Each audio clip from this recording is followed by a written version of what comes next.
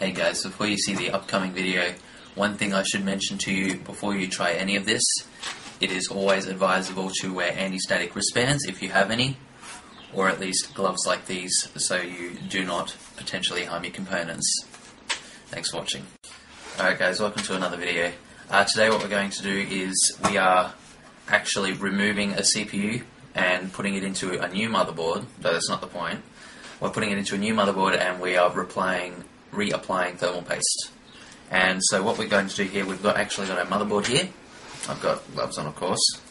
We've got our motherboard here, so what we're going to do, we're going to take the cooler off, take the CPU out, clean the CPU, put it in the new motherboard, reapply the thermal paste, and then put the cooler back on.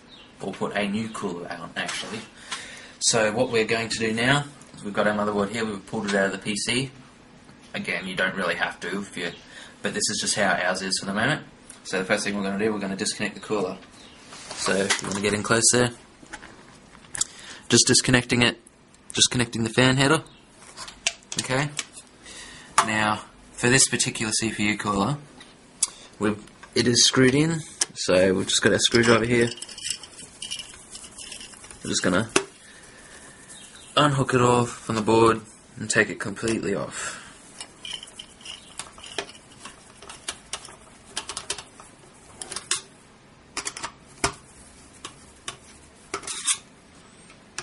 Okay, just like so. Okay, so that should come off. Okay, so our cooler is now off, and we can see what looks like a very dirty CPU. So that's all our old thermal paste all there. Okay, so what we're actually going to do now is we're going to take the CPU out of its socket. So what we need to do, we've got this little pin here. You just push it down out of its little latch, lift it up, make sure this little pin comes out so we can lift off the cover. And here is our CPU. Now we can see it is very dirty and it will get over your hands, so that's why I'm wearing gloves. But we just need to carefully take it out. It's very delicate like that. And there's our CPU. So we, we're actually not using this motherboard anymore. So we can put this aside. And now we're actually going to clean our CPU. Alright, so what we're up to now is we're actually up to the process of cleaning our CPU. So what we've got for this, we've got some methylated spirits, as you can see there, and either tissues or cotton buds. Cotton buds preferably, but tissues are fine.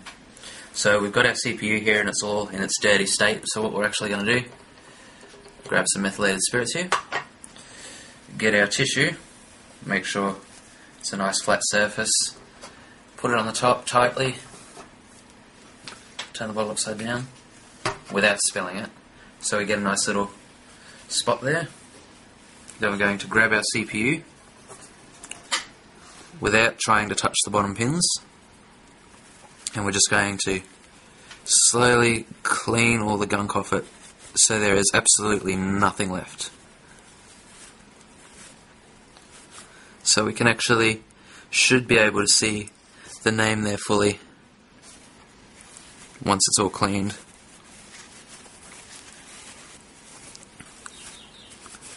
Okay, so we're just cleaning the CPU now without touching the bottom. You just I just got my fingers all around the edges, just supporting it.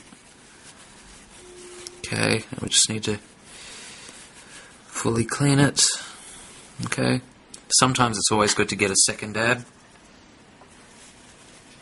Just to get that little bit of excess off.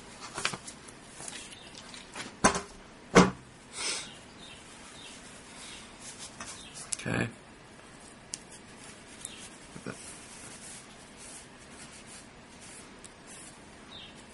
Okay, so we're just giving it a nice thorough clean. And what you should be able to see when you're done is a nice shiny silver palette with text on it. So you can see pretty much there. Okay, so we'll be back with the next video while I just finish up cleaning this.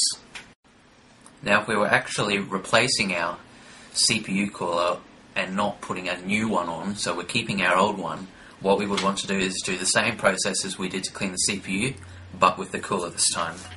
So we've actually got our cooler here, and we can see it's as gunky as it was, the CPU.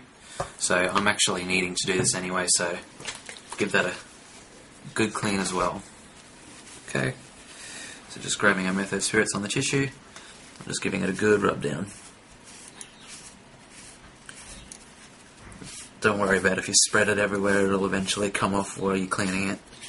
Even if it requires a couple of more dabs of spirits on here, just clean it all off so we see a nice bronze plate again. Okay. So you would do the same to this as well. The reason why we're actually using Metho Spirits is so that we're not keeping the old gunk on here, the old thermal paste, and so we can still regain maximum performance as possible by the cooler. Okay? So stay tuned and we're actually going to put on the new cooler with a new dab of thermal paste. And now we're actually up to the part where we put the CPU back in with the new thermal paste and we put the new cooler back on. Okay, so let's begin that now. We've got our CPU here.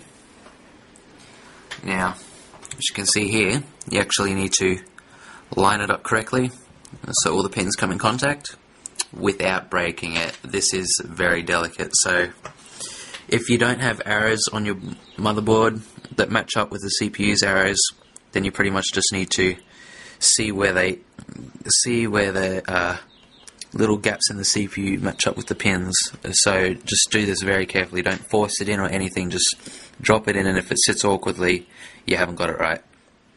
So we've already determined ours, and it goes in this way. So just drop it in. It's secure. Okay, it's not not moving anywhere. That's good. So now we close up the little plate. Okay, it just slips shut. Then the handle comes over and down and clips under the little tag there. So now our CPU is in place, we can actually start applying thermal paste. Now there are a couple of ways to do this. You, if you've already got thermal paste, that's good. If not, you'll need some, and usually looks like this, like a little syringe tube. But uh, one of the ways people do this is they either just drop a little bit in the middle, and when they put the cooler on, it spreads it out, or some people like to do that and then grab like a bit of cardboard or something and spread it all around themselves. The way I'm going to do this today is just a drop in the middle and let the cooler spread it out. So we're actually going to open up. We've got our Arctic Silver 5 paste. Just going to take the cap off the top.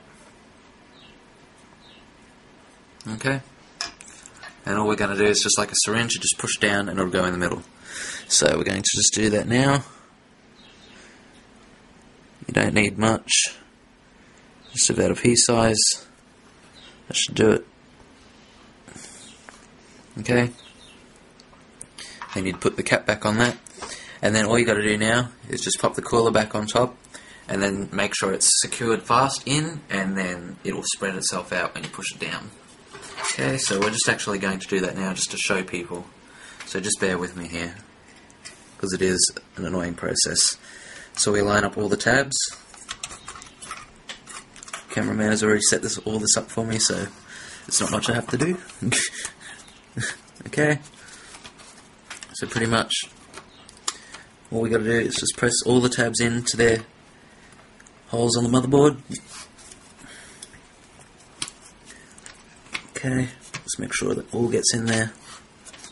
You might actually need to lift the board up to make sure they all get in there properly. Okay. And then on each one, you just have to turn and lock it. To turn and lock it, of course, you can see you can see clearly on the pins if you can get around there. You can see there's a little arrow, and you just push them down. Make sure they're out of the lock position first. You push them down and then turn to lock it, and that will lock the CPU cooler in place. So we're just going to follow all the pins. It's not securely in at the moment, but we'll still. We're just showing you what you would do. Okay, and you would just turn all of them in. It's not securely in, of course, so this is this is just showing people pretty much. Um, and then you would plug your power connector into your little 4 pin up the top, and you would be done. Okay, just showing there and then you would be done. So you'd want to cable manage this, of course, and get it out of the way. Maybe you can just tuck it right under there. But pretty much, it's not. This is not securely in at all. Of course, as you can clearly see. But you would fasten it all in, check all the pins and all that, make sure it's securely pressed against the CPU plate, and then you would be all done. Okay. So that's pretty much it for this video. Uh, a little tutorial on how to just replace the CPU and cooler. But uh, thanks for watching and uh, stay tuned for more. So now, all we've done now is we've secured it firmly, so you can see in there. And now it is properly seated on the motherboard and ready to be plugged back into your case. Now, of course, hopefully by now, if you pulled your motherboard out of your case, you should know how to put it back together. Otherwise, why'd you do that? But uh, anyway, you can just see in there, it's all nicely firmly seated. You can see all the pins have come through, they are latched into place.